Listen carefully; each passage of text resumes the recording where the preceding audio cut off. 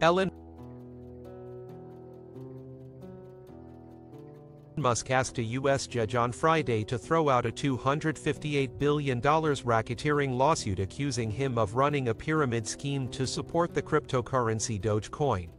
In an evening filing in Manhattan federal court, lawyers for Musk and his electric car company Tesla Inc. TSLAO called the lawsuit by Dogecoin investors a fanciful work of fiction over Musk's innocuous and often silly tweets about Dogecoin.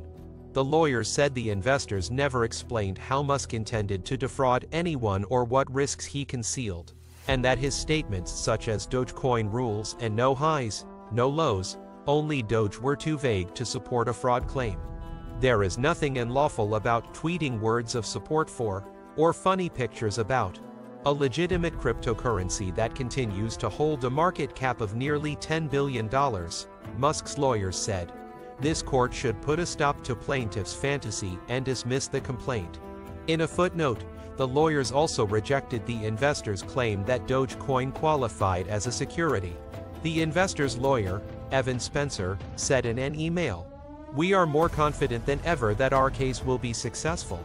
Investors accused Musk, the world's second richest person according to Forbes, of deliberately driving up Dogecoin's price more than 36,000% over two years and then letting it crash. They said this generated billions of dollars of profit at other Dogecoin investors' expense, even as Musk knew the currency lacked intrinsic value.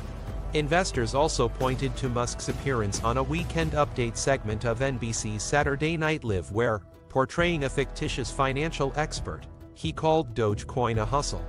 The $258 billion damages figure is triple the estimated decline in Dogecoin's market value in the 13 months before the lawsuit was filed.